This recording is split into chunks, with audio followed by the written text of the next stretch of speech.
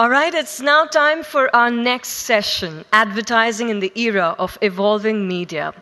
And our speaker leads corporate branding and marketing initiatives as part of marketing and corporate communications team across brand building, events and properties, business development, strategic alliances, product marketing, employer branding, etc. As a part of strategic marketing, he's also responsible for engaging with media for both media planning, buying, and PR. He's responsible for development and execution of business strategies for the bank across wholesale and retail businesses and products. He spearheads strategic initiatives like banking advisory services, prop investments, strategic tie ups, corporate branding, etc. He has expertise in executing growth focused strategies within the regulatory ambit. Ladies and gentlemen, put your hands together as I invite on stage the President and Country Head Yes Bank, Mr. Amit Shah.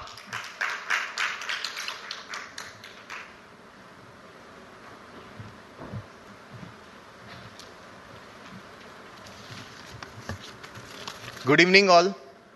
Uh, thanks E4M for inviting me here, and thanks Tips for uh, you know getting the oxytocins and dopamines up. I think it was much needed. It was a brilliant presentation, I must say.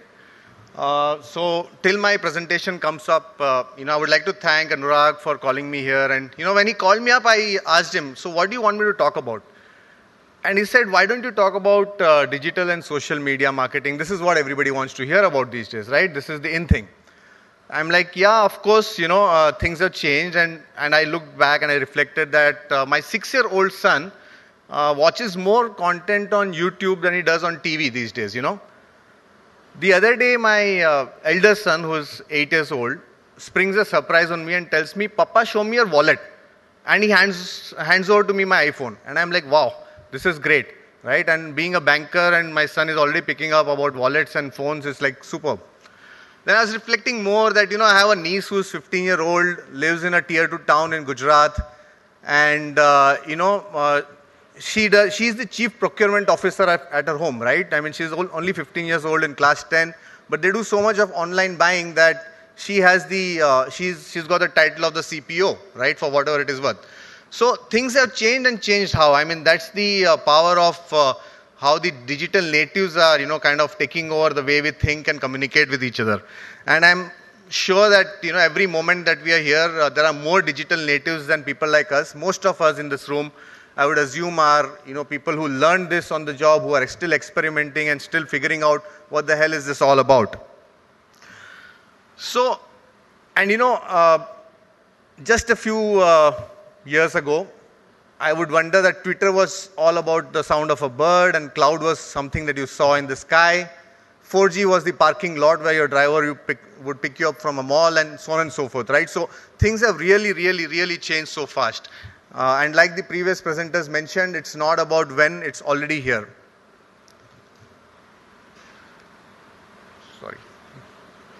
Yeah, so I'll, I'll, just like to take a, you know, a show of hands just to understand how many of us believe here that, uh, you know, our jobs as marketers has become more challenging because you now no longer have to only figure out what to do with the TV and the print ads and, you know, the traditional forms of marketing, but you have digital, social, uh, you know, mobile, the democratization of media has gone around, right? So how many believe that it's simpler, better, or is it more complicated now? Yeah, I'm assuming I see a few hands there. Obviously, it's a little more complicated, I'm assuming. And I'm, I'm sure that some of us also believe that it is far more exciting now because it's far more targeted, it's far more uh, fun to create content, to see it go viral at times, uh, you know, to curate content and crowdsource it. For Yes Bank, you know, uh, it's a very different field. I was seeing the list of speakers. Most of them are from very iconic and very big brands, you know, uh, brands that most of us have admired through our childhood. Uh, and, you know, we are a fairly young brand. We're like a 12 year old organization. So our uh, attempts at uh, social and digital media marketing started four or five years ago. Uh, but I think in the last four or five years, we've done a fairly decent job in terms of, uh, broadly speaking, if you were to go by just the engagement rates and the kind of followership that we've got. Twitter, I think we are the largest bank right now in terms of followership Facebook, couple of million of uh, million fans and followers, and so on and so forth in terms of uh, LinkedIn, Instagram, and stuff like that. I think what I'm really proud about is in this short duration, uh, particularly on LinkedIn, we've kind of managed to build a fairly decent uh, SME engagement portal, which uh, was one of our uh, ideas. But numbers can only tell as much, right? I mean, it's all about engagement and responses, and you know, how do you engage with your fan base or follower base? So I think this is where we're doing fairly well, and you know, in terms of response times and a few awards here and there doesn't really harm us. So, so that's good. I think beyond anything else, uh, what we managed to do in this short period of time is to build this whole mindset of uh, thinking digital, right? It's no longer uh, you do something, uh, you know, on the traditional medium and then as an afterthought figure out what do I do about this now, right? So I have a task to also go digital, so what do I do now? So I think that's been a little bit of a transformation that we've kind of seen recently. But, you know, the way I look at it, uh, it's not so much about the platform, right? We need to take a step back and understand that it's how you communicate with your stakeholders, right? And the communication comes from your inherent business strategy. And so I'm going to spend a few minutes uh, sharing with you my perspectives on how business strategy and communication need to kind of go hand in hand. I think for the longest time, uh, you know, most most um, business plans were built around getting the larger wallet share of your customer, right? Even today, we would hope that uh, you know we can get 100% of their wallet share.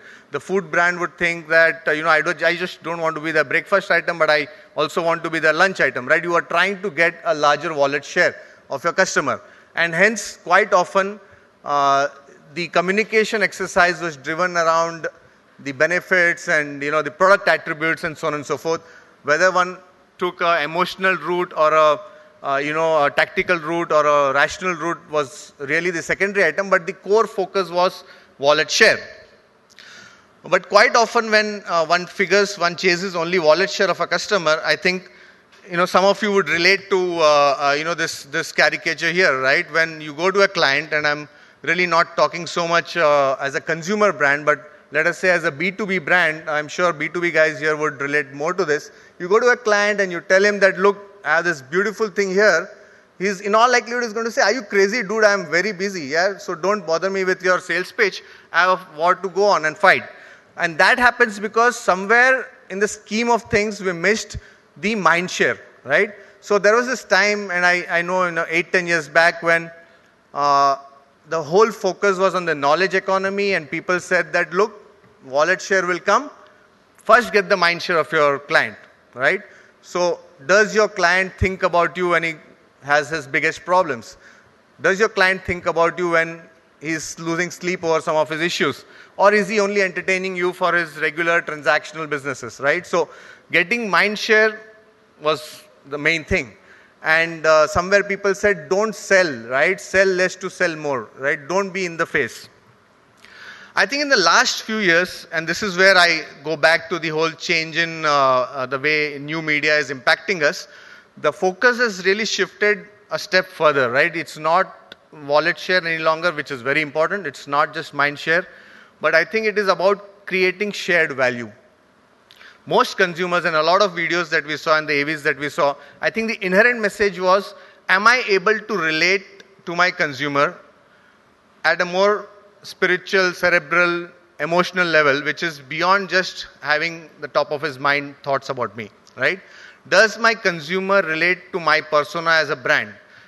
Because if the consumer likes what I do, if the consumer believes that I'm a responsible uh, uh, company, if, if, I'm producing responsible products, he's more likely to pick me up. Whether you're talking of a detergent, whether you're talking of a bike, whether you're talking of any product for that matter, right? Somewhere at the back of the mind, you want to know what is the larger persona of this brand uh, behind just the product uh, uh, attributes, right? So I think this is where we are today, uh, where human values and where shared values are equally or more important than just the uh, core attributes of your brand or your product.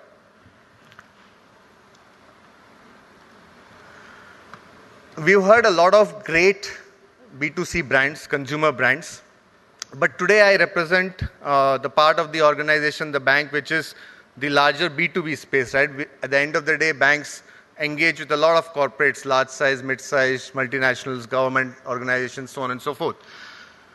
So it's a very different world. Yeah, we, we cannot talk of uh, millions of uh, views on our portals. Uh, you know, our stakeholders are far and few, right? Uh, as a B2B organization.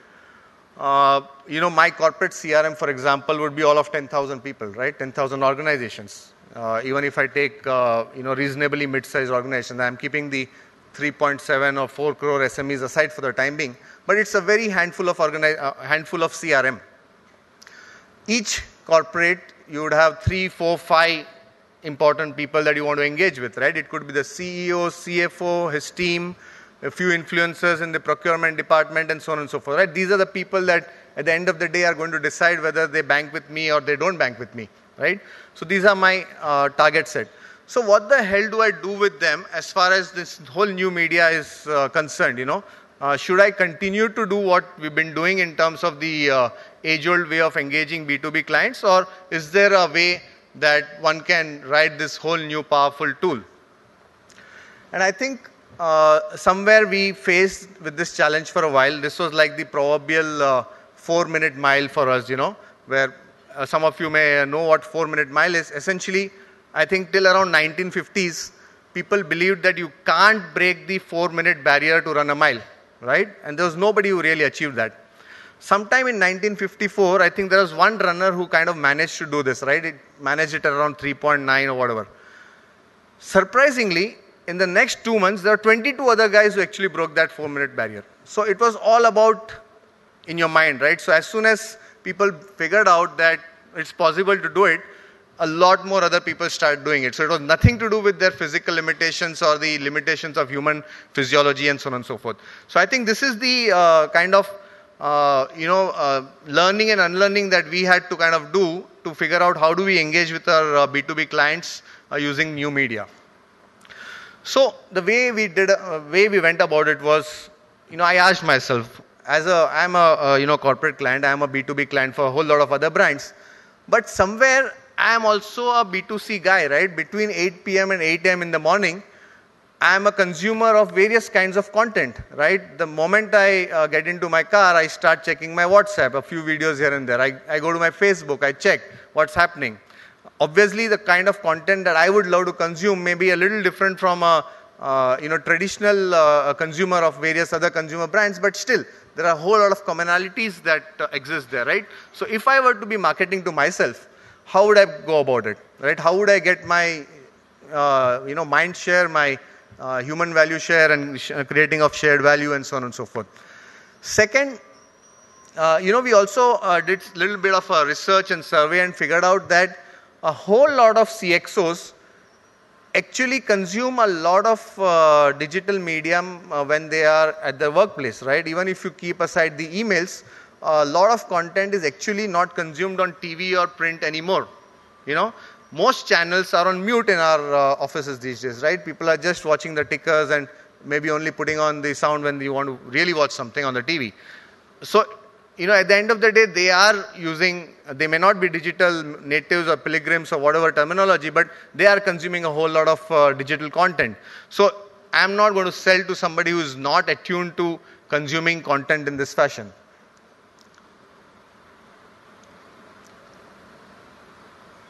So, uh, you know, this is where I think uh, what we do and what we saw in the previous uh, presentation kind of converges, which is, you know, I was thrilled to see that because uh, somewhere I thought that content driven marketing is something that, uh, you know, works very well, obviously for consumer brands, but we're doing it for B2B uh, brand and so on and so forth. But it was interesting to see, you know, the connotations and the comparisons between what I have to present and what was shown a little while earlier. But, you know, content can be also fairly confusing, right? Because there's so much happening, and the moment you talk of content, the first thing that comes to your mind is, can I get a viral video made? Right? So every time you meet your agency, you tell him, yaar, kuch viral idea samjha yaar. How do I get like thousands and uh, millions of views going on what I have to talk? But that's not really the end of it, right? And at the other extreme, you also don't want to be in a situation where you're spamming your uh, stakeholder with content that he really does not want to you know, kind of consume at that point of time. So it's a uh, I think it's a little bit of a science and an art as well on how do you go about uh, engaging meaningfully with your uh, you know B2B stakeholder. And I have a little bit of a uh, you know uh, schematic here, which on one axis, which is your y-axis, is your uh, level of engagement in terms of is he surfing or is he looking at you from a, a casual surfing perspective, or way down is when he is kind of getting positively engaged. And on your x-axis, the three pillars are which level of uh, you know buying decision is he at. And if you notice, the third pillar, I've said initiation because you know as a bank, as a banker, as a bank, the moment you acquire a client, you actually initiate a relationship, right? It's not the other way around where you close a deal, right? So, uh, and you know, we try to figure out uh, from all the kind of uh, different content that goes around, how do we make sense out of it? And I've kind of bucketed this into, uh, you know, five broad baskets, right? From uh, things which are low engagement in terms of videos and blogs and so on and so forth to slightly more engaging stuff like, you know, you present case studies and you curate contents and uh, you create demo videos, right? And no client is going to look at your product demo unless he's really interested in kind of initiating a business with you, right? And of course, if all of us have come here, which is a physical event, right, we obviously are convinced about something. So it's it's a proof of the pudding that people are attending your uh, you know, uh, in in uh, person meetings and in person engagement. So this is what we've done, and I have a couple of case studies to uh, relate how we've gone about merging the old school and the new school in order to engage with our uh, stakeholders. So the first story uh, that I would like to speak about is the CFO forum, right? So for us as uh, banks, CFOs are most important, right? They're the finance guys. They decide how much loan, how much deposit, and what cash management solutions they want. So how do I engage the CFO meaningfully using all the five buckets of content that we spoke of in order to derive meaningful conclusions out of it and slowly and steadily nudge him towards you know starting something with me right and getting his mind share and shared values and stuff like that so what began uh, you know and when you think of cfos the first thing one comes across is let's create an award property right let's recognize the best cfos in the country which is a great thing to do because if you do it meaningfully if you do it reasonably well and if you create a lot of uh, credibility about your property uh, the CFOs are obviously going to take notice, right? Who doesn't like to be get, who doesn't like to get awarded, right? It's Maslow's uh, hierarchy of needs. CFOs are obviously at the top of the peak, and you know, in case you award them and you create uh, wow around it, they're going to be excited. This is where you know we kind of created this property which. Uh, you know, is very well recognized and people are interested and it's actually going on right now and a whole lot of CFOs have been uh, querying us saying what's happening, when are the events, when are the awards, have I made it to the shortlist, and so on and so forth, right? So obviously a whole lot of buzz has just has got initiated even before the awards, uh, you know, event has uh hit the ground. But we said that look, I can't be satisfied engaging with my CFO just once a year, right? It's like a flash in the pan. You create an award, at best you can stretch it on both sides by 15 days uh, before the event and after the event. So what do I do with him uh, for the rest of the year, right? How do I ensure that he does not remember me only when he uh, is looking forward to the award? So this is where we decided that let's engage him through CFO forums, right? This was the in uh, in uh, in-person engagement where we would meet CFOs across the country, hold panel discussions and you know uh, engagement activities. What started off in 2000, I think it was nine uh, or 10 has actually now become a very large movement, right? I mean, there are thousands of CFOs who are active members of the CFO forum. They regularly participate. In fact, I keep getting calls, right? I saw CFO forum happening in Bangalore. When are you coming to Pune? And you know things like that, right? So there's a whole lot of community that's uh, coming uh, together. And the beauty of this is that uh, you know even if I were to step behind and let the CFO forum take the center stage, the CFOs are now talking to each other, right? So there's a peer-to-peer engagement that started, uh, and they don't need a sutradhar called Yes Bank to uh, make this happen for them, right? So that I think was uh, really heartening that the property is in a critical, uh, uh, you know, fusion or fission state that it's kind of uh, going on on its own. Now we said let's go a step further, right? A whole lot of CFOs, in fact, create best of the content. I don't need to preach them, right? I may be a money doctor, uh, or I like to call myself as a money doctor, but I think the CFOs know what they do best. And a whole lot of CFOs said that, look, we engage with you guys during uh, the CFO summits, but can we contribute some of the best uh, case studies and stuff that we do, right? And in the last six, eight months, we've kind of come up with this bi-monthly kind of uh, periodical or, you know, we call it CFO Insights, which again is very well read. And it's again uh, catering to the, uh, you know, the top of the Maslow's needs of uh, the CFO that they are writing, they are talking about.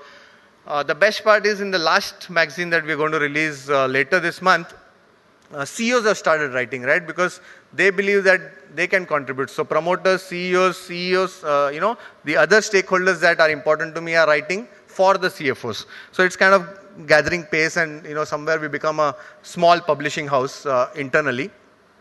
Uh, which is good in my opinion because uh, a recent survey by Forbes said 90% of CMOs are actually evaluating creating their own publishing house internally because content has become so critical for them. And obviously, uh, how do you take it further? How do you ensure that this is not a yearly or a quarterly or a bi monthly uh, engagement?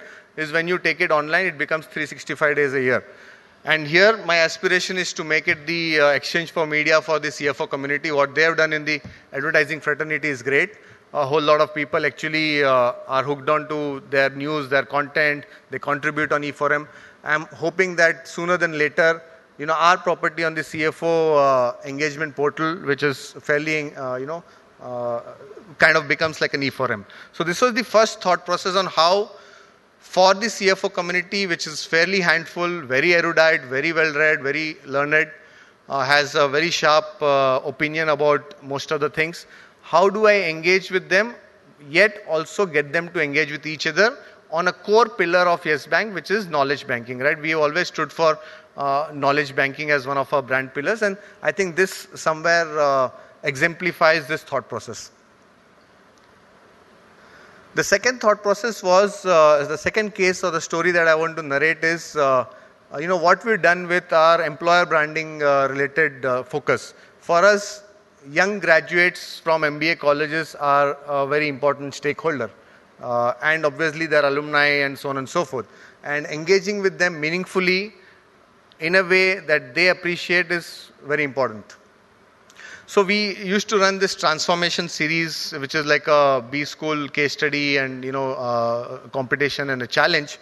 Uh, but what started off a few years ago as a you know traditional B school competition, we realized over the last couple of years that most of the students are actually now holding smartphones. Right, they're all hooked on to YouTube and so on and so forth. Most campuses are now Wi-Fi enabled. Right, there is 3G in most campuses and they're spending so much time on social media. So if I were to do a challenge for them and tell them that, look, I'll come to your campus and we'll do all of this in your auditorium and then I'll take you to a TV studio, it really does not excite them as much as if I were to tell them that, look, you continue to do what you're doing, you stay on social media where you spend a lot of your time, I'll come there, right? So I will run the entire engagement for you on a social platform. So you no longer need to write a 2000 word uh, essay you please create a video blog, right? Because you love to do this. You have your mobile phones and you have your, uh, you know, uh, Wi-Fi's in your campuses. Please just create a blog for me with your solution and you send it to us, right? Next, when the jury engagement started, and this is a typical process that you would do with uh, B school competitions, we said, can I get my jury on Twitter and get these guys on Twitter as well, right? So most of the students were obviously hooked to Facebook, but uh, only some of them were on Twitter. So we got them introduced to Twitter and we said that, look, why don't we engage with the uh, jury members here? Because every time you ask a question, everybody else is also benefited uh, with the same question, right? So we kind of got them engaged on Twitter and we chatted with them on issues regarding the case and you know any other questions that they had. And this kind of generated a whole lot of engagement for us as a bank and uh, you know the community as well. Uh, finally, when you know we had to do their uh, final round of evaluation and stuff, again we said that on, let's try and do it digitally rather than the uh, old way. I think the uh, feedback that we received, obviously, you know, one part of it was the case study, and the winners obviously felt much better than the people who did not win. But one thing that ran consciously across the feedback that we got, and here we were sticking our neck out because we were doing all of this uh, on Twitter, which is you know highly unforgiving as a platform uh, was that there was fairly large amount of positive feedback and uh, very you know encouraging feedback that we received on Twitter. Uh, as compared to you know obviously there are a few guys who are not so happy as well, but I think uh, this kind of went off very well for us.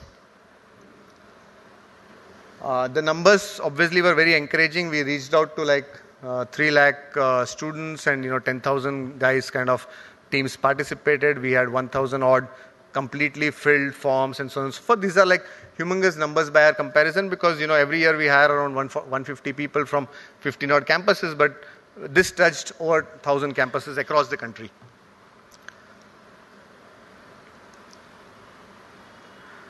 The third uh, story that I would like to share is about Yes Community. You know, uh, since the bank started, the bank said that look, we will try to do things a little differently as far as the bank branches are concerned.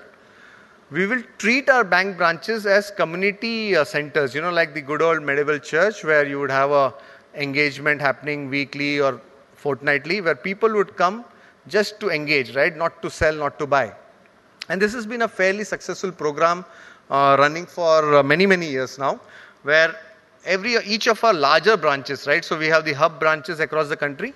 We mandate the branch manager to do a program with the community. It could be a resident welfare association, it could be the chemical traders association, or wherever your branch is situated. Just call them to your branch, let them experience the brand, let them come and visit you. Don't sell anything. Talk on a subject matter that really engages them. So if it's a RWA and they're facing a solid waste management problem in that area, you call a you know BMC guy and you call the RWA representatives, and you as a bank you be there and you try and figure out what to do.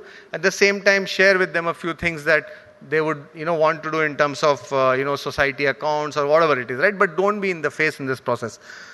Next time when he wants to do something with any part of banking, he's more likely to consider you as a banker as vis-a-vis anybody else. This was a thought process in order to, you know, not do what most branches would do. Every time a new bank branch is launched, they typically put an insert in your newspaper or, you know, do some kind of a local activation to tell that, look, we opened a branch here, please come and visit us. So we said, let's not try and do that, let's do something different. But this is what we did in the first, you know, seven, eight, nine years of the bank. Of late, in the last, uh, and this is one of those uh, engagements that we do, we did it uh, in, I think, a school or one of our larger branches where this was a student and college related uh, engagement. But we said now, uh, look, we have 2.5 million fans on Facebook, right? I mean, that represents the entire country and the TG that you would kind of engage with, and their uncles and their aunts, and all of us, all of them are there. Very well segmented, right? So I really need, I don't really need to break my head around it why can't I take this whole experience uh, on Facebook? We started off uh, this project with around eight branches where we've created communities in and around my branch serving area, right? Uh, targeted to uh, people uh, whose residences are there. And we are engaging them on areas of their interest on the community on Facebook. So these are some uh, visuals. I don't know how visible they are, but these are some engagement activities that we do on Facebook. So the whole objective now is to get people. So first four five years it was to take people on your Facebook page and get them to like you and get them to reach stuff around you. Now it's the other way around. Can I get those guys into my branch, right? Can I get those guys to talk about stuff and hopefully also come into my branch? So I'm taking my online community hopefully into my uh, uh, physical engagement community. This is uh, the last of my uh, stories and something that I am personally very proud of. Uh, and you know the whole organization is very proud of and this relates to the four, third block of uh, communication and strategy that i was alluding to a while ago which is on you know engaging with uh, your stakeholders at a human value and shared value creation perspective you know uh, we were thinking that you know how what do we do? This you this country has so much youth so much energy but a whole lot of it needs to be channelized positively right? Youth are also my uh, target audience in terms of their first accounts their first salaries and their first loans you know so they are like brilliant community. But i need to engage with them in a way that i don't sound that i'm preaching to them right? Youth hate to be preached. They have had enough of it during their teenage they don't want to be preached anymore. Yet I want to engage them very meaningfully in a socially uh, relevant format.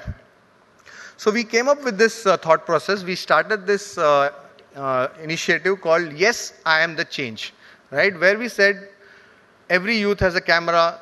Can you make a short film, two minute, three minute, five minute film of any interesting initiative that you see in your locality? It could be a random act of kindness. It could be about you know uh, uh, road dweller who is taking care of uh, dogs and you know stray dogs and stuff. It could be about a rag picker and her life story and how she is trying to make a living and also support a few other people. Right? It could be anything that you really uh, love doing. To add to this, we also identified 101 NGOs across the country, uh, across you know NGOs focused on different uh, end end end goods or end uses, focus areas and we mapped 101 semi-professional filmmakers with these 101 NGOs. So there were crowdsourced films from amateurs, complete amateurs who don't have sophisticated uh, movie making uh, tools. Uh, but you know they would form teams and they actually did a good job there. But we also got semi-professional uh, filmmakers, uh, agencies, filmmakers, so on and so forth, to make good films on 101 NGOs. And we gave them 101 hours to do this. We launched this during uh, you know, uh, just before uh, August 15th, right, we gave them this, this time to make these films. They were given a topic just 101 hours before they were allowed to make a film. And they kind of make films on these social issues. It was beneficial because the NGOs were doing some great job, but there was nobody to tell their story, right? Uh, the creative guys also found a venue to do something nice. And usually around august 15th you do have long weekends and stuff like that and holidays. So it's not really taxing on their normal uh, work hours. But what really excited us was the number of films and engagement we got from common people across the country. Year one it was a very modest uh, kind of a output right? We got 8000 odd people and so on and so forth. Year two the numbers increased. We got like 70, 80,000 participating on this platform.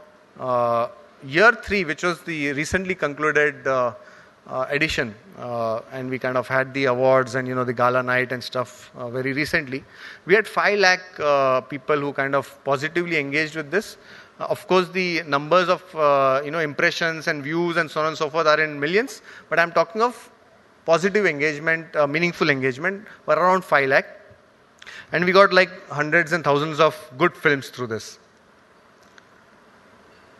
So I think this is this is uh, uh, one area where we said that look, I need to engage with my consumer, but I don't want to push a product. I want to engage with him on a meaningful platform. Uh, these are some actual uh, grabs of people trying to make a film, uh, you know, on the spot. This is not uh, for the Photoshop or for the ads, but these are actual films that we took, you know, of teams and people making films.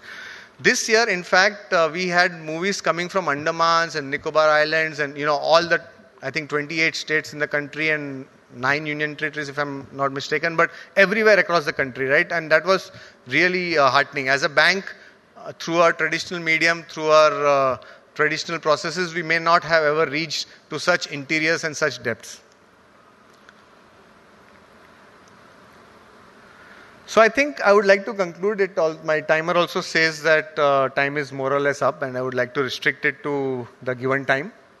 I think till a couple of years ago, uh, for most of us, digital was an afterthought, where you would do the stuff that you do for, uh, uh you know, your, as part of a daily course of action, and then you would say, "Chalo, let's take it online, or let's try and create a, uh, you know, YouTube version of this." But I think today, most of us, if not all of us, are thinking how do we start from there and supplement it with you know the other engagement efforts depending on uh, what you're talking of. Uh, it's not because it's uh, nice to do but i think that's the way uh, the whole uh, environment is moving. So if you're not here then you're kind of missing out on the action. Thank you Thank you so much, Mr. Shah. I'd request you to please stay with me on stage as I invite Mr. Ashish Bhasin, Chairman and CEO South Asia Dentsu Aegis Network and Chairman Posterscope and PS Live Asia Pacific to please give away the memento. Ladies and gentlemen, let's give a generous round of applause for Mr. Shah for taking us through the Yes Bank story. Thank you very much.